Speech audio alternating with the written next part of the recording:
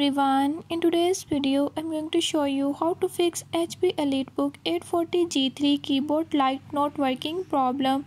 If keyboard keys are not working or not responding, I'll show you how you can fix it. Before I start, if you are new to my channel, don't forget to subscribe and press bell icon. Watch complete video and learn how you can do it. Let's watch the video.